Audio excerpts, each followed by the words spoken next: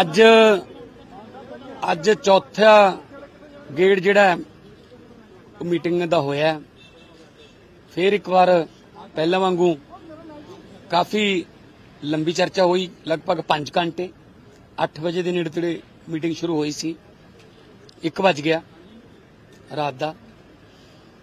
ਤੇ ਕਾਫੀ ਵਿਚਾਰ ਵਟਾਂਦਰੇ ਆਪਸ ਚ ਹੋਏ, ਮਾਹੌਲ, ਕਿਉਂਕਿ ਮੈਂ ਤਾਂ ਇੱਕ ਪੰਜਾਬ ਦੇ ਪ੍ਰਤੀਨਿਧੀ ਤੌਰ ਤੇ ਉੱਥੇ ਬੈਠਦਾ ਔਰ ਮੈਂ ਜੇ ਕੋਈ ਪ੍ਰਪੋਜ਼ਲ ਇਦਾਂ ਦੀ ਹੁੰਦੀ ਹੈ ਜਿਹਦਾ ਪੰਜਾਬ ਨੂੰ ਫਾਇਦਾ ਹੁੰਦਾ ਹੋਵੇ, ਤਾਂ ਮੈਂ ਉਹਦੇ ਬਾਰੇ ਵੀ ਗੱਲਬਾਤ ਕਰਦਾ ਤੁਹਾਨੂੰ ਯਾਦ ਹੋਊਗਾ ਇਸੇ ਜਗ੍ਹਾ ਤੇ 8 ਤਰੀਕ ਨੂੰ 8 ਫਰਵਰੀ ਨੂੰ, ਜਦੋਂ ਆ ਕੇ ਮੈਂ ਮੀਡੀਆ ਬਰੀਫ ਕੀਤਾ ਸੀ, ਤਾਂ ਮੈਂ ਤੁਹਾਨੂੰ ਦੱਸਿਆ ਸੀ ਕਿ ਮੈਂ ਇੱਕ ਮੁੱਦਾ ਠਾਇਆ ਉੱਥੇ ਕਿ ਸਾਡਾ ਦੇਸ਼ ਜੋ ਹੈ, ਮੁਜੰਬੀਕ ਤੋਂ ਤੇ ਕੋਲੰਬੀਆ ਤੋਂ 2 ਬਿਲੀਅਨ ਡਾਲਰ ਦੀ ਕੀਮਤ ਦੀਆਂ ਦਾਲਾਂ ਜਿਹੜੀਆਂ ਨੇ, ਉਹ ਮੰਗਵਾਉਂਦਾ ਹੈ। ਇੰਪੋਰਟ ਕਰਦਾ ਭਾਰਤ ਦੇਸ਼ ਕੋਲੰਬੀਆ ਤੋਂ, ਮੋਜ਼ੰਬੀਕ ਤੋਂ। 2 ਬਿਲੀਅਨ ਡਾਲਰ ਦੀਆਂ। ਮੈਂ ਉਸ ਦਿਨ ਖੇਤੀ ਮੰਤਰੀ ਸਾਹਿਬ ਨੂੰ ਔਰ ਦੂਜੇ ਮੰਤਰੀਆਂ ਨੂੰ ਕਿਹਾ ਸੀ ਕਿ ਅਸੀਂ ਝੋਨੇ ਦੀ ਤੁਸੀਂ ਡਾਈਵਰਸਿਫਿਕੇਸ਼ਨ ਦੀ ਗੱਲ ਕਰਦੇ ਹੋ। ਜੇ ਸਾਨੂੰ ਝੋਨੇ ਦੇ ਨਾਲ ਨਾਲ ਜਿਹੜੀ ਫਸਲ ਅਸੀਂ ਝੋਨੇ ਦੀ ਜਗ੍ਹਾ ਤੇ ਬੀਜਾਂਗੇ, ਜੇ ਉਹਦੇ ਤੇ ਸਾਨੂੰ ਐਮਐਸਪੀ ਦੀ ਗਾਰੰਟੀ ਦੇ ਦੋ, ਤਾਂ ਅਸੀਂ ਤੁਹਾਨੂੰ ਦਾਲਾਂ ਪੈਦਾ ਕਰਕੇ ਦੇ ਸਕਦੇ ਹਾਂ। ਹਿਸਟਰੀ ਆਪਣੇ ਆਪ ਨੂੰ ਰਿਪੀਟ ਕਰੂਗੀ। ਜਦੋਂ ਆਪਣਾ ਦੇਸ਼ ਕਣਕ ਦੇ ਮਾਮਲੇ 'ਚ ਇੱਕ ਵਾਰੀ ਜਿਹੜਾ ਵਿਦੇਸ਼ਾਂ ਤੇ ਡਿਪੈਂਡੈਂਟ ਸੀ। ਅਮਰੀਕਾ ਨੇ ਕਣਕ ਦੇਣ ਤੋਂ ਨਾ ਕਰਤੀ ਸੀ, ਤਾਂ ਫਿਰ ਇੱਥੇ ਹਰੀ ਕ੍ਰਾਂਤੀ ਆਈ ਸੀ। ਤੇ ਹਰੀ ਕ੍ਰਾਂਤੀ ਨੇ ਪੂਰੇ ਦੇਸ਼ ਦੇ ਅਨਾਜਾਂ ਦੇ, ਅਨਾਜ ਦੇ ਭੰਡਾਰ ਜਿਹੜੇ ਭਰਤੇ, ਜੋ ਜੋ ਪੰਜਾਬ ਨੇ ਲੀਡ ਕੀਤੀ ਸੀ ਉਹ ਕ੍ਰਾਂਤੀ। ਹਾਲਾਂਕਿ ਉਹ ਹਰੀ ਕ੍ਰਾਂਤੀ ਦਾ ਖਮਿਆਜਾ ਸਾਨੂੰ ਅੱਜ ਭੁਗਤਣਾ ਪੈ ਰਿਹਾ ਕਿ ਸਾਡਾ ਪਾਣੀ ਜਿਹੜਾ ਬਹੁਤ ਜ਼ਿਆਦਾ ਵਾਟਰ ਲੈਵਲ ਥੱਲੇ ਚਲਾ ਗਿਆ। ਸੋ ਮੈਂ ਕਿਹਾ ਸੀ ਕਿ ਦਾਣਾ ਸਾਡੇ ਸਾ- ਸਾਡਿਆਂ, ਸਾਨੂੰ ਦਿਓ ਕਿਹੜੇ ਕਿਹੜੇ ਦਾਲਾਂ ਨੇ। ਸਾਡੀ ਇੰਨੀ ਉਪਜਾਊ ਧਰਤੀ ਹੈ ਕਿ ਅਸੀਂ ਤੁਹਾਨੂੰ ਪੈਦਾ ਕਰਕੇ ਦੇਵਾਂਗੇ, ਪਰ ਉਹਦੇ ਤੇ ਸਾਨੂੰ ਐਮਐਸਪੀ ਦੀ ਗਾਰੰਟੀ ਹੋਣੀ ਚਾਹੀਦੀ ਹੈ। ਇੱਕ ਇੱਕ ਦਾਣਾ ਚੱਕਣ ਦੀ ਵੀ ਗਾਰੰਟੀ ਹੋਣੀ ਚਾਹੀਦੀ ਅੱਜ ਉਸ ਵਿਸ਼ੇ ਤੇ ਵੀ ਗੱਲ ਹੋਈ। ਹੁਣ ਕਿਸਾਨ ਵੀ ਆ ਕੇ ਆਪਣੀ ਗੱਲ ਦੱਸਣਗੇ। ਮੰਤਰੀ ਸਾਹਿਬ ਦੱਸ ਕੇ ਗਏ ਹੋਣੇ। ਤੇ ਫਿਰ ਨਰਮਾ ਤੇ ਕਪਾਹ। ਕੋਈ ਜ਼ਮਾਨਾ ਸੀ ਜਦੋਂ ਸੰਗਰੂਰ ਦਾ ਇਲਾਕਾ, ਬਰਨਾਲੇ ਦਾ ਇਲਾਕਾ, ਮਾਨਸਾ, ਬਠਿੰਡਾ, ਫਾਜ਼ਿਲਕਾ, ਇਧਰ ਅਰਨੀ ਵਾਲਾ ਪੰਨੀ ਵਾਲਾ ਜਲਾਲਾਬਾਦ, ਅਬੋਹਰ ਤੱਕ ਸਾਡਾ ਉਹਨੂੰ ਕਾਟਨ ਬੈਲਟ ਕਹਿੰਦੇ ਸੀ, ਨਰਮਾ ਤੇ ਕਪਾਹ ਹੁੰਦੀ ਸੀ। ਪਰ ਉਹ ਵੀ ਸਾਰਾ ਹੁਣ ਲਗਭਗ ਝੋਨੇ 'ਚ ਚਲਾ ਗਿਆ ਕਿਉਂਕਿ ਫਸਲਾਂ ਰੁਲ ਗਈਆਂ ਤਾਂ ਵਿਸ਼ਵਾਸ ਉੱਠ ਗਿਆ ਕਿਸਾਨਾਂ ਦਾ। ਕਦੇ ਚਿੱਟੀ ਮੱਖੀ ਨੇ ਖਾ ਲਿਆ, ਕਦੇ ਗੁਲਾਬੀ ਸੁੰਡੀ ਨੇ ਖਾ ਲਿਆ, ਤਾਂ ਉਹਨਾਂ ਦਾ ਵਿਸ਼ਵਾਸ ਉੱਠ ਗਿਆ ਫਸਲ ਤੋਂ। ਤਾਂ ਉਹ ਵਿਸ਼ਵਾਸ ਬਹਾਲ ਕਰਨ ਵਾਸਤੇ ਵੀ ਗਾਰੰਟੀ ਚਾਹੀਦੀ ਹੈ ਖਰੀਦ ਦੀ, ਨਰਮੇ ਤੇ ਕਪਾਹ ਦੀ ਵੀ। ਸੋ, ਨਾਲ ਨਾਲ ਅੱਜ ਕੱਲ ਮੱਕੀ ਜਿਹੜੀ ਹੈ, ਉਹ ਐਥੇਨੋਲ ਬਣਨ ਲੱਗ ਗਿਆ। ਹੋਰ ਕਈ ਜਗ੍ਹਾ ਤੇ ਮੱਕੀ ਦੀ ਜਿਹੜੀ ਜ਼ਰੂਰਤ ਪੈਣ ਲੱਗ ਗਈ। ਅੱਠ ਪਲਾਂਟ ਤਾਂ ਪੰਜਾਬ ਕੋਲੇ ਵੀ ਹੈਗੇ ਨੇ ਐਥੇਨੋਲ ਦੇ। ਪਰ ਉਹ ਤਾਂ ਬੀਜੀ ਜਾਊਗੀ ਜੇ ਸਾਨੂੰ ਐਮਐਸਪੀ ਦੀ ਗਾਰੰਟੀ ਮਿਲੂਗੀ। ਮੈਂ ਐਗਜ਼ਾਮਪਲ ਦਿੱਤੀ ਉਹਨਾਂ ਨੂੰ, ਜੇ ਕਿਸੇ ਜ਼ਿਮੀਦਾਰ ਕੋਲ 10 ਕਿੱਲੇ ਨੇ, ਜੇ ਉਹਨਾਂ ਨੂੰ ਆਪਾਂ ਇਹ ਕਹਿ ਦਈਏ ਕਿ 6 ਕਿੱਲੇ ਤੂੰ ਝੋਨਾ ਲਾ ਲਾ 10 ਦੀ ਬਜਾਏ 6 ਕਿੱਲੇ ਲਾ ਲਾ, ਚਾਰ ਮੱਕੀ ਬੀਜ ਲਾ ਜਾਂ ਦਾਲਾਂ ਲਾ ਲਾ, ਦਾਲਾਂ ਬੀਜ ਲਾ, ਤਾਂ ਉਹ ਬੀਜ ਲੂਗਾ ਵਿਸ਼ਵਾਸ ਤੇ। ਪਰ ਜਦੋਂ ਫਸਲ ਆ ਜੂਗੀ, ਤਾਂ ਜਿੰਨੇ ਪੈਸੇ ਜਿੰਨਾ ਪ੍ਰੋਫਿਟ ਉਹਨੂੰ 6 ਕਿੱਲਿਆਂ ਦੀ ਜੀਰੀ ਵੇਚ ਕੇ, ਜਿਹਨੂੰ ਧਾਨ ਵੀ ਕਹਿ ਦਿੰਦੇ ਆ ਰਾਈਸ ਕਹਿ ਲਓ, ਮੁੰਜੀ ਕਹਿ ਦਿੰਦੇ ਆ, ਜਿੰਨਾ ਝੋਨੇ ਦੀ ਫਸਲ ਵੇਚ ਕੇ ਉਹਨੂੰ ਪ੍ਰੋਫਿਟ ਹੁੰਦਾ ਹੈ ਉਨਾ ਹੀ ਉਹਨੂੰ ਬਾਕੀ 4 ਕਿੱਲਿਆਂ 'ਚ, ਭਾਵੇਂ ਦਾਲਾਂ 'ਚੋਂ, ਭਾਵੇਂ ਮੱਕੀ 'ਚੋਂ ਉਨਾ ਹੀ ਉਹਨੂੰ 4 ਕਿੱਲਿਆਂ 'ਚੋਂ ਹੋਣਾ ਚਾਹੀਦਾ ਨਹੀਂ ਉਹ ਵਾਪਸ ਅਗਲੇ ਸਾਲ ਫਿਰ 10 ਦੇ 10 ਕਿੱਲਿਆਂ 'ਚ ਝੋਨਾ ਲਾਊਗਾ। ਸੋ ਕ੍ਰੌਪ ਡਾਈਵਰਸਿਫਿਕੇਸ਼ਨ ਜੇ ਲਾਗੂ ਕਰਨੀ ਹੈ ਤਾਂ ਪਹਿਲਾਂ ਗਾਰੰਟੀ ਦੇਣੀ ਪਊਗੀ। ਸੋ ਇਸ ਤਰ੍ਹਾਂ ਦਾ ਇੱਕ ਪ੍ਰਸਤਾਵ ਅੱਜ ਆਇਆ ਜਿਸ ਚ ਨਫਾਡ ਜਿਹੜੀ ਏਜੰਸੀ ਹੈ ਸੈਂਟਰ ਦੀ, ਤੇ ਨਾਲ ਨਾਲ ਜਿਹੜਾ ਕਾਟਨ ਕਾਰਪੋਰੇਸ਼ਨ ਆਫ ਇੰਡੀਆ, ਇੱਕ ਮੱਕੀ ਨੂੰ ਖਰੀਦਣ ਵਾਲੀ ਇਹਨਾਂ ਦੀ ਜਿਹੜੀ ਏਜੰਸੀ ਹੈ, ਸਰਕਾਰੀ ਹੈ ਪਿਊਸ਼ ਜੀ ਪਿਊਸ਼ ਗੋਇਲ ਜੀ ਦੇ ਮਹਿਕਮੇ 'ਚ ਆਉਂਦੀ ਹੈ, ਵੀ ਉਹ ਸਾਨੂੰ ਗਰੰਟੀ ਦੇ ਦੇਣ, ਲਿਖਤੀ ਐਗਰੀਮੈਂਟ ਹੋਊਗਾ ਲੀਗਲ ਜਿਹਨੂੰ ਚੈਲੰਜ ਕੀਤਾ ਜਾ ਸਕੂਗਾ ਕਿ ਅਸੀਂ ਇੰਨੇ ਸਾਲ ਵਾਸਤੇ ਉਹਦਾ 2 ਸਾਲ ਕਹਿੰਦੇ ਸੀ। ਮੈਂ ਕਿਹਾ ਜੀ ਨਹੀਂ 5 ਸਾਲ ਤਾਂ ਕਰੋ ਨਾ। ਕੋਈ ਐ ਪਤਾ ਤਾਂ ਲੱਗੇ ਨਾ ਕਿ 5 ਸਾਲ ਐਗਰੀਮੈਂਟ ਹੈ ਤੇ ਦੇਖੋ ਸਰਕਾਰਾਂ ਬਦਲ ਸਕਦੀਆਂ ਨੇ 5 ਸਾਲ ਚ, ਪਰ ਏਜੰਸੀ ਤਾਂ ਸੇਮ ਰਹੂਗੀ ਨਾ। ਨਫਾੜ ਤਾਂ ਨਹੀਂ ਬਦਲਦੀ ਨਾ। ਸੋ ਜੇ ਇਸ ਤਰ੍ਹਾਂ ਦਾ ਕੋਈ ਮੈਕੈਨਿਜ਼ਮ ਬਣ ਜੇ ਕਿ ਸਾਨੂੰ ਦੇਖੋ ਝੋਨਾ ਤੇ ਕਣਕ ਤਾਂ ਜਿਹੜੀ ਹੈ, ਉਹ ਤਾਂ ਪਹਿਲਾਂ ਹੀ ਜਿਹੜੀ ਉਹ ਲਈ ਜਾ ਰਹੀ ਹੈ ਐਮਐਸਪੀ ਤੇ।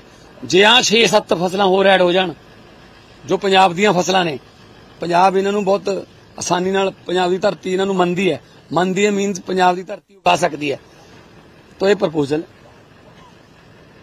ਤੇ ਕਿਸਾਨ, ਮੈਂ ਤਾਂ ਇੱਕ ਵਕੀਲ ਦੇ ਤੌਰ ਤੇ ਬੈਠਾ ਸੀ, ਫੈਸਲਾ ਤਾਂ ਉਹਨਾਂ ਨੇ ਲੈਣਾ ਜੀ। ਤਾਂ ਕਿਸਾਨ ਜਥੇਬੰਦੀਆਂ ਨੇ ਕਿਹਾ ਕਿ ਅਸੀਂ ਇੱਥੇ ਫੈਸਲਾ ਲੈਣ ਦੇ ਅਭੀ ਹਜੇ ਸਮਰਥ ਨਹੀਂ ਹੈਗੇ। ਅਸੀਂ ਜਾ ਕੇ ਡਿਸਕਸ ਕਰ ਲੈਨੇ ਹਾਂ ਆਪਣੇ ਸਾਥੀਆਂ ਨਾਲ ਤੇ ਉਸ ਤੋਂ ਬਾਅਦ ਤੁਹਾਨੂੰ ਦੱਸ ਦਾਂਗੇ।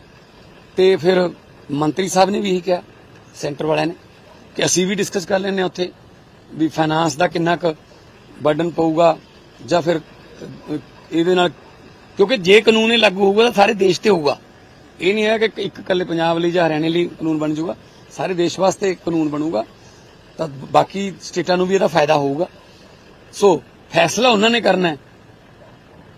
ਮੈਂ ਇੱਕ ਪੰਜਾਬ ਦੇ ਮੁੱਖ ਮੰਤਰੀ ਹੋਣ ਦੇ ਨਾਤੇ, ਮੈਂ ਆਪਣੇ ਕਿਸਾਨਾਂ ਦੇ ਵਕੀਲ ਹੋਣ ਦੇ ਨਾਤੇ ਮੈਂ ਬੈਠਾ। ਚੌਥੀ ਮੀਟਿੰਗ ਹੈ। ਖੁੱਲਾ ਟਾਈਮ ਹੈ, ਜਿੰਨੇ ਵਜੇ ਮਰਜ਼ੀ ਉਹ ਕਹਿਣ 2 ਘੰਟੇ ਲਵਾਂਗੇ, ਸਾਨੂੰ ਡਿਸਕਸ ਕਰ ਲੈਣ ਦੋ 5 ਘੰਟੇ ਲਵਾਂਗੇ, ਕੋਈ ਪ੍ਰੋਬਲਮ ਨਹੀਂ।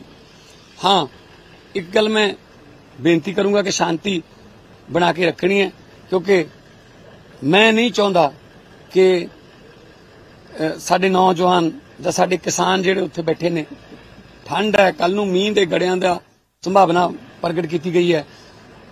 ਇੱਕ ਇੱਕ, ਦੋ ਕਿਸਾਨ ਸ਼ਹੀਦ ਹੋ ਗਏ ਨੇ ਆਲਰੇਡੀ ਇੱਕ ਅੱਜ ਸਮਾਣੇ ਦੇ ਨੇੜੇ ਜਿਹੜਾ ਮੌਤ ਹੋਈ ਹੈ। ਇੱਕ ਇੱਕ ਗਿਆਨ ਸਿੰਘ ਜਿਹੜੇ ਚਾਚੋ ਚਾਚੋਕੀ ਪਿੰਡ ਦੇ ਗੁਰਦਾਸਪੁਰ ਜ਼ਿਲ੍ਹੇ ਦੇ, ਉਹਨਾਂ ਦੀ ਜਿਹੜੀ ਮੌਤ ਹੋਈ ਹੈ। ਸੋ, ਮੈਂ ਨਹੀਂ ਚਾਹੁੰਦਾ ਕਿ ਕੋਈ ਜਾਨੀ ਨੁਕਸਾਨ ਹੋਵੇ। ਇੱਕ ਦੂਜੇ ਨਾਲ ਭਿੜੀਏ, ਜੇ ਗੱਲਬਾਤ ਨਾਲ, ਕਿਉਂਕਿ ਆਫਟਰ ਆਲ ਤਾਂ ਜਿੱਥੇ ਵੀ ਮਰਜ਼ੀ ਜਾਵਾਂਗੇ, ਹੋਊਗੀ ਤਾਂ ਗੱਲ, ਗੱਲਬਾਤ ਰਾਹੀਂ।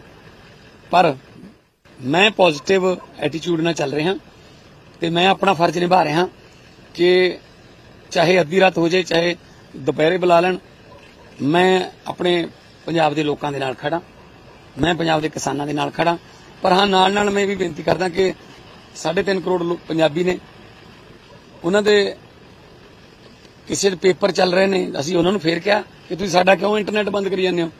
ਫੇਰ ਉਹ ਕਹਿੰਦੇ ਨੇ, ਅਸੀਂ ਪੰਜ ਜ਼ਿਲ੍ਹਿਆਂ 'ਚ ਇੰਟਰਨੈਟ ਬੰਦ ਕਰਾਂਗੇ, ਆਹ ਕਰਾਂਗੇ। ਤਾਂ ਸਾਨੂੰ ਜਿਹੜੀ ਹੈ ਤੰਗ ਨਾ ਕਰੋ ਕਿਸਾਨ ਯੂਨੀਅਨਾਂ ਨੇ ਬੜੇ ਅੱਛੇ ਤਰੀਕੇ ਨਾਲ ਜਿਹੜੇ ਆਵਾਜ਼ ਇਸ ਗੱਲ ਦੀ ਦੇਣਾ ਕਿ ਉਹਨਾਂ ਨੇ ਕੋਈ ਕੋਈ ਪਹਿਲ ਨਹੀਂ ਕੀਤੀ ਕਿਸੇ ਪੱਖ ਤੋਂ ਕਿ ਕੋਈ ਇਸ ਤਰ੍ਹਾਂ ਦਾ ਇਲਜ਼ਾਮ ਲੱਗ ਜੇ ਕਿ ਇਹ ਹਿੰਸਕ ਹੋ ਗਏ ਜਾਂ ਹਮਲਾਵਰ ਹੋ ਗਏ ਜਾਂ ਕੋਈ ਹੋਰ। ਵਿੱਚ ਕੋਈ ਸ਼ਰਾਰਤੀ ਅੰਸਰ ਹੋਊ ਇੱਕ ਅੱਧਾ ਉਹਦੇ ਨਾਲ, ਉਹ ਚਲੋ ਆਪ ਹੀ ਉਹ ਦੇਖ ਲੈਂਦੇ ਨੇ ਉੱਥੇ। ਸੋ ਪੰਜਾਬ ਦੇ ਲੋਕਾਂ ਦੇ ਜਾਨ ਦੀ, ਮਾਲ ਦੀ, ਪੰਜਾਬ ਦੀ ਆਰਥਿਕਤਾ ਦੀ ਰਾਖੀ ਕਰਨਾ ਵੀ ਮੇਰਾ ਫਰਜ਼ ਹੈ। ਸੋ ਇਸ ਕਰਕੇ ਇਹ ਅੱਗੇ ਹੁਣ ਕਿਸਾਨ ਯੂਨੀਅਨਾਂ ਤੁਹਾਨੂੰ ਦੱਸ ਦੇਣਗੇ ਆ ਕੇ ਕਿ ਉਹ ਕੀ ਫੈਸਲਾ ਲੈਂਦੇ ਨੇ। ਕੱਲ ਤੱਕ ਤੇ ਉਸ ਤੋਂ ਬਾਅਦ ਫਿਰ ਜੇ ਗੱਲ ਕਰਨੀ ਪਈ ਤਾਂ ਫਿਰ ਦੁਬਾਰੇ ਗੱਲ ਕਰਨੀ। ਅਗਲੀ ਮੀਟਿੰਗ ਦੀ ਕੋਈ ਗੁੰਜਾਇਸ਼ ਰਹੇਗੀ ਸਰ? ਅਗਲੀ ਬਿਲਕੁਲ ਹੈ ਜੀ ਬਿਲਕੁਲ ਹੈ ਕੋਈ ਦਰਵਾਜ਼ਾ ਬੰਦ ਨਹੀਂ ਹੋਇਆ। ਇਹ ਤਾਂ ਹਜੇ ਸ਼ੁਰੂਆਤ ਹੈ। ਜੇ ਇਹਨਾਂ ਤੇ ਮੰਨ ਲੈਂਦੇ ਨੇ ਤਾਂ ਅਗਲੀਆਂ ਜਿਹੜੀਆਂ ਫਸਲਾਂ ਨੇ ਜਾਂ ਕੋਈ ਹੋਰ ਫਸਲਾਂ ਜਿਹੜੀਆਂ ਉਗਦੀਆਂ ਨੇ ਉਹਨਾਂ ਬਾਰੇ ਵੀ ਆਪਾਂ ਜਿਹੜਾ ਦਰਵਾਜ਼ਾ ਜਿਹੜਾ ਖੁੱਲਾ ਰੱਖ ਸਕਦੇ ਹਾਂ ਤੇ ਇਹਦੇ ਚ ਕਿਹੜੀਆਂ ਜੀ? ਨਰਮਾ ਨਰਮਾ ਕਪਾਹ ਹੋ ਗਈ ਜੀ। ਦੇ ਨਾਲ ਲਗਾਉਣ ਸਵਾਲ ਹੈ ਇਹ ਜਿਹੜੀ 5 ਸਾਲ ਦੀ ਗਰੰਟੀ ਐਮਐਸਪੀ ਕਿਹੜੇ ਫਾਰਮੂਲੇ ਦੇ ਆਧਾਰ ਤੇ ਜਿਹੜਾ ਉਹ ਸੈਂਟਰ ਦੇ ਹੈ ਨਹੀਂ ਨਹੀਂ ਜਿਹੜਾ ਜਿਹੜਾ ਜਿਵੇਂ ਹੁਣ ਮੱਕੀ ਤੇ ਜੋ ਅਹ, ਜੋ ਐਨਐਸਪੀ ਦੀ ਮੇਰੇ ਖਿਆਲ ਜਿਹੜੀ ਹੈਗੀ ਹੈ ਨਾ ਅ, ਜਿਹੜੀ ਗਾਰੰਟੀ ਜਿਹੜੀ ਐਮਐਸਪੀ ਦਿੰਦੀ ਹੈ ਕੰਪਨੀ ਉਸ ਉਸੇ ਫਾਰਮੂਲੇ ਤੇ ਆਧਾਰਿਤ ਹੈ ਕਿ ਫਸਲਾਂ ਨਰਮਾ ਤੇ ਕਪਾਹ ਜੀ ਜੋ ਬਿਲਕੁਲ ਬਹੁਤ ਘਟ ਗਿਆ ਜੀ ਕਿਉਂਕਿ ਚਿੱਟੀ ਸੁੰਡੀ ਤੇ ਗੁਲਾਬੀ ਸੁੰਡੀ ਨੇ ਉਹਨਾਂ ਨੇ ਖਤਮ ਕਰਤਾ ਵਿਸ਼ਵਾਸ। ਸੋ ਨਰਮਾ ਕਪਾਹ ਨੂੰ ਵਾਪਸ ਲੈ ਕੇ ਆ ਸਕਦੇ ਆ ਜੇ ਕਾਟਨ ਜਿਹੜੀ ਆ ਕਾਰਪੋਰੇਸ਼ਨ ਆਫ ਇੰਡੀਆ 100% ਇੱਕ ਇੱਕ ਫੁੱਟ ਨਰਮੇ ਦਾ, ਕਪਾਹ ਦਾ ਇੱਕ ਇੱਕ ਫੁੱਟ ਜੋ ਹੈ ਐਮਐਸਪੀ ਤੇ। ਫਿਰ ਫਿਰ ਮੱਕੀ ਹੈ। ਮੱਕੀ ਕਿਉਂਕਿ ਅੱਜ ਕੱਲ ਐਥੇਨੋਲ ਵਗੈਰਾ ਬਣਨ ਲੱਗ ਗਿਆ। ਤਾਂ ਮੱਕੀ ਵਾਸਤੇ ਪ੍ਰਾਈਵੇਟ ਸੈਕਟਰ ਵੀ ਆਊਗਾ। ਉਹਨੂੰ ਬਹੁਤ ਜ਼ਿਆਦਾ ਚਾਹੀਦੀ ਹੈ ਮੱਕੀ। ਸਾ ਮੱਕੀ ਦਾ ਵੀ ਜੇ ਸਾਨੂੰ ਭਾਅ ਮਿਲਣ ਲੱਗ ਜੇ, ਤਾਂ ਅਸੀਂ ਝੋਨੇ ਤੋਂ ਸਾਡਾ ਜਿਹੜਾ ਕ੍ਰੌਪ ਡਾਈਵਰਸਿਫਿਕੇਸ਼ਨ ਦੇ ਵਿੱਚ ਅਸੀਂ ਝੋਨੇ ਤੋਂ ਥੋੜਾ ਜਿਹਾ ਹਟ ਸਕਦੇ ਹਾਂ। ਫਿਰ ਦਾਲਾਂ ਨੇ ਜਿਵੇਂ ਅਰਹਰ ਹੈ ਮਾਂ ਦੀ ਦਾਲ ਹੈ, ਮਸੂਰ ਹੈ। ਮਤਲਬ ਜੇ ਇਹ ਦਾਲਾਂ ਜਿਹੜੀਆਂ ਕਿ ਅਸੀਂ ਬਾਹਰੋਂ ਮੰਗਾਉਂਦੇ ਆ ਉਹ ਦੇਸ਼ ਦਾ ਵੀ ਫਾਇਦਾ ਹੋਊਗਾ ਕਿ ਬਾਹਰੋਂ ਨਹੀਂ ਮੰਗਾਉਣਾ ਪਊਗਾ? ਤੇ ਸਾਡੇ ਕਿਸਾਨ ਦਾ ਵੀ ਫਾਇਦਾ ਹੋਊਗਾ ਕਿ ਪਾਣੀ ਵੀ ਬਚੂਗਾ ਸਾਡਾ, ਕਿਉਂਕਿ ਘੱਟ ਪਾਣੀ ਲੈਂਦੀਆਂ ਨੇ ਇਹ ਫਸਲਾਂ। ਤੇ ਜਿਹੜਾ ਸਾਡਾ 6-700 ਫੁੱਟ ਤੇ ਚਲਾ ਗਿਆ ਪਾਣੀ, ਉਹ ਵੀ ਬਚੂਗਾ ਤੇ ਨਾਲ ਕਿਸਾਨ ਨੂੰ, ਕਿਉਂਕਿ 8000 7000 ਤੋਂ ਉੱਪਰ ਇਹਨਾਂ ਦੀ ਪ੍ਰਾਈਸ ਹੈ। ਜੇ ਸਾਨੂੰ ਲਿਖਤ ਗਰੰਟੀ ਮਿਲ ਜਾਂਦੀ ਹੈ, ਅਸੀਂ ਇਹ ਬੀਜੀਏ, ਤੇ ਉਹ ਚੱਕਣ ਚਾਹੇ ਜਿਵੇਂ ਮਰਜ਼ੀ ਚੱਕਣ, ਤਾਂ ਫਿਰ ਜਿਹੜਾ ਹੈ, ਉਹ ਸਰਕਲ ਜਿਹੜਾ ਹੋਰ ਫਸਲਾਂ ਦਾ, ਜਿਹੜਾ ਅਸੀਂ ਲੈ ਕੇ ਆਉਣਾ ਚਾਹੁੰਦੇ ਹਾਂ ਕਿ ਜੇ ਝੋਨੇ ਤੋਂ, ਜੇ ਪਰਾਲੀ ਤੋਂ ਤੁਸੀਂ ਸਾਨੂੰ ਇਹ ਕਹਿੰਦੇ ਹੋ ਕਿ ਝੋਨੇ ਤੋਂ ਪਰਾਲੀ ਹੁੰਦੀ ਹੈ, ਬਾਅਦ ਚ ਤੁਸੀਂ ਕਹਿੰਦੇ ਹੋ ਸਾਨੂੰ ਪਰਚੇ ਕਰੋ, ਇਹਨਾਂ ਨੂੰ ਰੈੱਡ ਐਂਟਰੀਆਂ ਚ ਪਾਓ। ਝੋਨਾ, ਕਿਸਾਨ ਵੀ ਕਹਿੰਦਾ ਕਿ ਝੋਨੇ ਤੋਂ ਸਾਡਾ ਖਹਿੜਾ ਛੱਡਾ ਦਿਓ, ਪਰ ਉਹਦੇ ਬਦਲੇ ਅਸੀਂ ਬੀਜੀਏ ਕੀ ਤੇ ਉਹਦਾ ਮੰਡੀਕਰਨ ਕੀ ਹੋਊਗਾ? ਸੋ ਮੰਡੀਆਂ ਹੈਗੀਆਂ ਨੇ। ਮੰਡੀਆਂ ਕੋਈ ਪ੍ਰੋਬਲਮ ਨਹੀਂ ਹਰ 4 ਕਿਲੋਮੀਟਰ ਦੇ ਰੇਡੀਅਸ 'ਚ ਮੰਡੀ ਹੈ।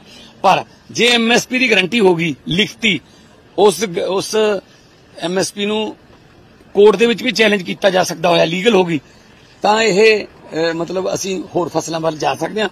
ਤੇ ਪਰ ਇਹ ਫੈਸਲਾ ਕਿਸਾਨ ਜਥੇਬੰਦੀਆਂ ਨੇ ਕਰਨਾ ਹੈ ਕਿ ਉਹ ਕੱਲ ਨੂੰ ਜਾ ਕੇ ਉਹ ਉਹਨਾਂ ਨਾਲ ਗੱਲ ਕਰ ਲੈਣ, ਆਪਣੇ ਸਾਰੇ ਜਿੰਨੇ ਵੀ ਹੋਰ ਉਹਨਾਂ ਦੇ ਸਾਥੀ ਨੇ, ਤੇ ਉਹ ਕੀ ਫੈਸਲਾ ਕਰਦੇ ਨੇ। ਉਸ ਤੋਂ ਬਾਅਦ ਫਿਰ ਸਾਡੇ ਜਿਹੜੇ ਪੰਜਾਬ ਸਰਕਾਰ ਵੱਲੋਂ ਖੇਤੀ ਮੰਤਰੀ ਤੇ ਅਫਸਰ ਸਹਿਬਾਨ, ਉਹ ਸਾਰਾ ਉਹਨਾਂ ਨਾਲ ਗੱਲਬਾਤ ਕਰ ਲੈਣਗੇ। ਦੁਬਾਰਾ ਆਉਣਾ ਪਿਆ, ਜਦੋਂ ਵੀ ਮਰਜ਼ੀ ਦੁਬਾਰਾ ਆਉਣਾ ਪਿਆ, ਬਹਿਣਾ ਪਿਆ, ਜੋ, ਜਾਂ ਕੋਈ ਉੱਥੋਂ ਸੁਝਾਅ ਲੈ ਕੇ ਆਏ ਉਹ ਜਿੱਥੇ ਅੰਦੋਲਨ ਚੱਲ ਰਿਹਾ ਤਾਂ ਅਸੀਂ ਉਹਦਾ ਉਹਦਾ ਵੀ ਸਤਿਕਾਰ ਕਰਾਂਗੇ।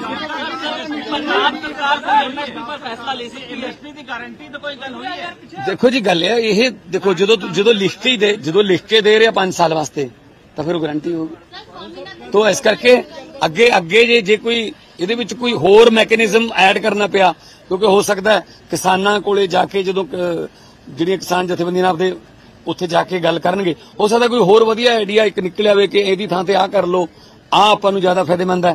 ਮੈਨੂੰ ਸਿਰਫ ਇੱਕੋ ਹੀ ਹੈ ਕਿ ਪੰਜਾਬ ਦੇ ਕਿਸਾਨ ਦਾ, ਹਰਿਆਣੇ ਦੇ ਕਿਸਾਨ ਦਾ, ਦੇਸ਼ ਦੇ ਕਿਸਾਨ ਦਾ ਨੁਕਸਾਨ ਨਾ ਹੋਵੇ। ਜੋ ਮਰਜ਼ੀ ਐਗਰੀਮੈਂਟ ਹੋਵੇ, ਉਹਨੂੰ ਬੈਠ ਕੇ ਕਿਉਂਕਿ ਮੈਂ ਇੱਥੇ ਤਾਂ ਬਣਾ ਬਣਾ ਨਹੀਂ ਸਕਦਾ। ਇਹ ਚ ਵੀ ਅਸੀਂ ਕਿਸਾਨ ਵੀ ਜਿਹੜੇ ਨੇ, ਉਹ ਵੀ ਅਸੀਂ ਜਿਹੜੇ ਅਰਥ ਸ਼ਾਸਤਰੀ ਨੇ, ਉਹਨਾਂ ਤੋਂ ਉਹ ਵੀ ਕਿਸਾਨ ਵੀ ਰਾਏ ਲੈਣ ਤੇ ਸਰਕਾਰ ਵੀ ਆਪਣੇ ਜਿੰਨੇ ਵੀ ਇਕਨੋਮਿਸਟ ਨੇ ਉਹਨਾਂ ਨੂੰ ਪੁੱਛੇ ਕਿ ਇਹਦਾ ਕਿੰਨਾ ਖਰਚਾ ਹੋਊਗਾ ਕਿੰਨੀ ਕੁ ਦੇ ਲਈ ਦੇ ਸਕਦੇ ਹਾਂ ਕੀ ਕਰ ਸਕਦੇ ਹਾਂ। ਸੋ ਇਸ ਕਰਕੇ ਬਾਕੀ ਜਿਹੜਾ ਗੱਲਬਾਤ ਦਾ ਦੌਰ ਹੈ ਉਹ ਜਾਰੀ ਰਹੂਗਾ ਪਰ ਮੇਰਾ ਪ੍ਰਾਇੋਰਟੀ ਇੱਕ ਹੈ ਪੰਜਾਬ ਦੇ ਮੁੱਖ ਮੰਤਰੀ ਹੋਣ ਦੇ ਨਾਤੇ ਪੰਜਾਬ ਦੇ ਅਹ, ਜਾਨ ਮਾਲ ਦੀ ਪੰਜਾਬ ਦੇ ਜਿਹੜੇ ਲੋਕਾਂ ਦੀ ਜਾਨ ਮਾਲ ਦੀ ਰਾਖੀ ਸ਼ਾਂਤੀ ਬਣਾ ਕੇ ਰੱਖਣ ਦੀ ਮੈਂ ਅਪੀਲ ਕਰਦਾ। ਜਦੋਂ ਹੀ ਕੋਈ ਫੈਸਲਾ ਕਿਸਾਨਾਂ ਵੱਲੋਂ ਆ ਗਿਆ ਜਾਂ ਸੈਂਟਰ ਨੇ ਸਾਨੂੰ ਕੰਟੈਕਟ ਕੀਤਾ ਕਿ ਅਸੀਂ ਆਹ ਕਰ ਸਕਦੇ ਹਾਂ ਤਾਂ ਮੈਂ- ਮੈਂ ਫੇਰ ਇੱਕ ਵਾਰੀ ਬ੍ਰਿਜ ਦੇ ਤੌਰ ਤੇ, ਇੱਕ ਪੁਲ ਦੇ ਤੌਰ ਤੇ ਮੈਂ ਬੈਠਣ ਨੂੰ ਤਿਆਰ ਹਾਂ। ਬਹੁਤ ਬਹੁਤ ਧੰਨਵਾਦ।